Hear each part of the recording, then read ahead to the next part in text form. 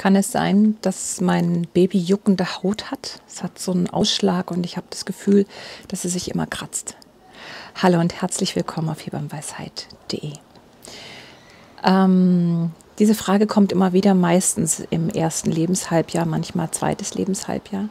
Und es gibt durchaus Kinder, die einiges zu tun haben mit ihrer Haut und die juckende Stellen haben, die auch Stellen haben, die so ein bisschen wie ein Ekzem aussehen und, äh, und sich dann auch kratzen. Und natürlich fragt man dann die Hebamme, was, was kann ich denn machen?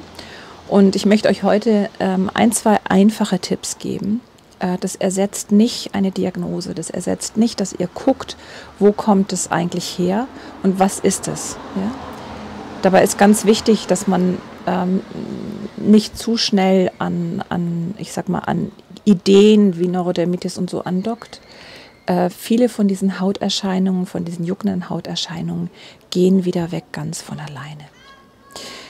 Ähm, ich bitte euch zu entschuldigen, dass hier Hintergrundgeräusche sind. Das ist der dritte Advent 2020 und es ist vor in die Sonne gerade rausgekommen und ich habe keine Zeit rauszugehen und mir einen Platz zu suchen, wo nicht so viele äh, Fußgänger sind. Ich habe mich deswegen schlicht und einfach hier auf den Balkon gestellt, weil ich bei dem Wetter unbedingt draußen sein will und wenn es nur ein bisschen ist. Ja?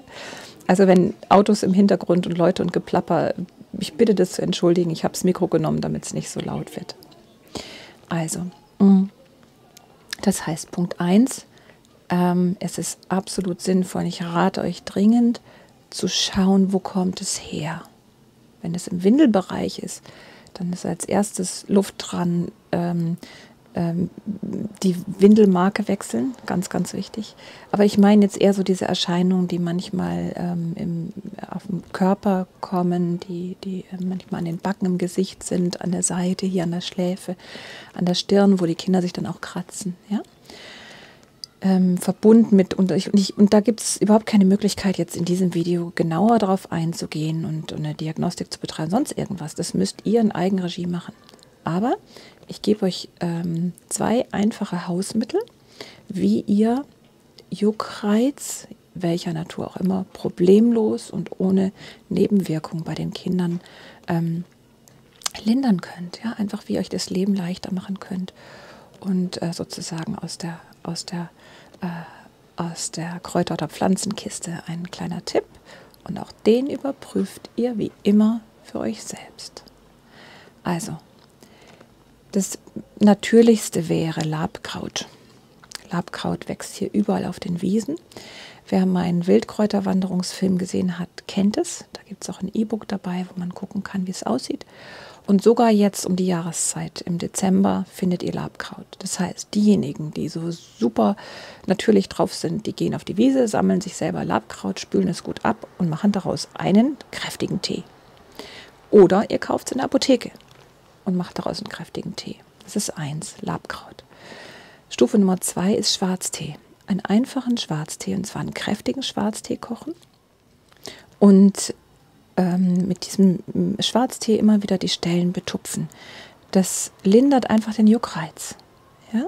und macht damit die Nächte manchmal ruhiger. Oft reicht das aus. Entweder Labkraut oder Schwarztee.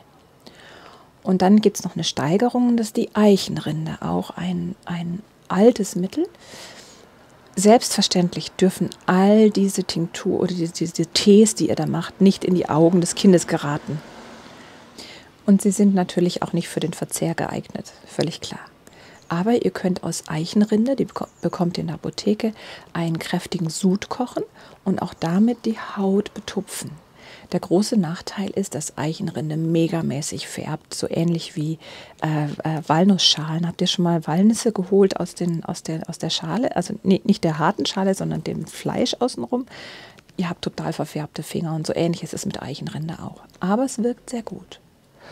Und dann gibt es noch einen synthetischen ähm, Stoff, der Eichenrinden ähnlich ist, also der sozusagen auf dem Konzept Eichenrinde entwickelt wurde und das ist Tanolakt äh, gibt es als Lotion und als, als äh, Pulver, wo man Sitzbäder zum Beispiel mitmachen kann. Ich empfehle sehr, bei den Pflanzen zu bleiben und äh, die eben, mh, mm, so wie ich es beschrieben habe, anzuwenden. Und es kann sein, dass der, der Leidensdruck, der durch dieses Jucken entsteht und die unruhigen Nächte dadurch etwas besser werden. Es ist keine Therapie oder ein Ersatz dafür zu gucken, was, was das eigentlich ist mit der Haut. Da, da seid ihr in der eigenen Verantwortung, müsst gucken.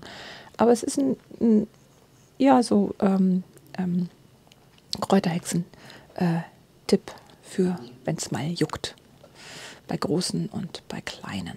Ich wünsche euch einen wunderschönen Tag noch. Ganz liebe Grüße, eure Levka.